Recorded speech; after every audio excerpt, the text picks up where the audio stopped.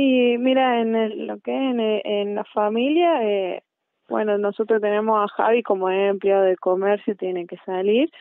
Y acá en casa estamos con su mamá, como ella es una persona mayor, está con nosotros, así que yo soy la que sale a, a comprar, digamos, estamos acá, viste, cerca del centro, así que lo más lejos que puedo hacer son dos cuadras, como mucho el banco, la farmacia, pero nos cuidamos todo el tiempo cuando cuando cualquiera que sale obviamente se, se desinfecta tiene su limpieza y bueno y lo que es en el ámbito de las bochas nos hablamos así con amigos y compañeros a través de videollamadas también eh, nos hacen entrevistas y reportajes para para conocer a otros jugadores porque además de saber cómo juegan adentro de la cancha su historia lo que hay detrás de cada uno a través de eventos bochófilos y marginales del bochazo y así es una forma de, de conectarnos después de tanto tiempo de que no nos vemos.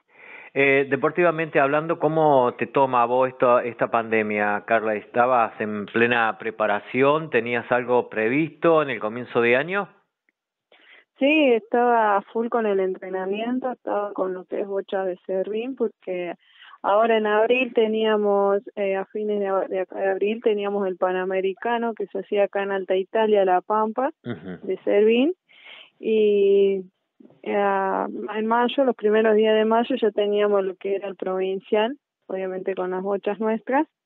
Y sí, me venían preparando por como ya saben, el tema mío de lo que es eh, Servín son cinco minutos sin tirando bochazos sin parar y salía a correr abdominales a full, entrenamiento en casa y bueno, eh, por más que ahora no, no pueda salir y hacer eso, eh, me sigo entrenando acá en casa.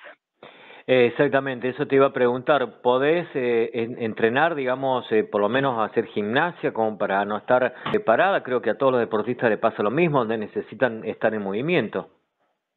Sí, sí, eh, tal cual, además, desde la CONFE nos hacen lo que es la Confederación de, de, Deportes de Córdoba y la Confederación de Deportes de la Nación nos hacen mandar videos porque obviamente por lo que estamos becados tenemos que seguir estando en actividad. Y, y sí, en casa mi hermano justamente tenía eh, barras y disco y todo eso, así que me las prestó y me las traje a casa para entrenar y hacer un poco de abdominal, fuerza de brazos, de piernas no queda acá en mi casa en el living, lo estoy haciendo. Claro, eh, vos sabés que, bueno, en e, el día 13 de, de abril cumplió años la Asociación eh, de Bochas de Argentina, no sé si tuvieron en contacto con ellos.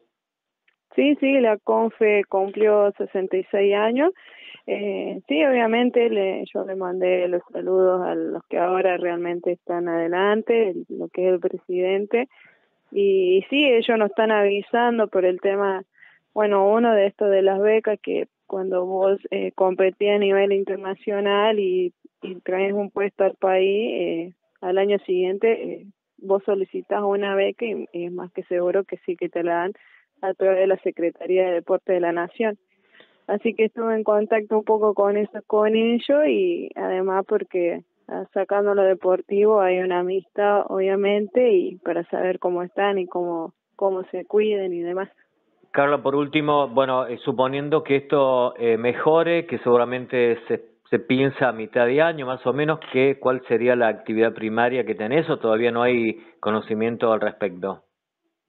Eh, lo que es la Federación Internacional de Bochas ya dejó todo lo que es todo internacional, mundiales, panamericanos directamente para el año 2021. Ah, claro, claro, claro.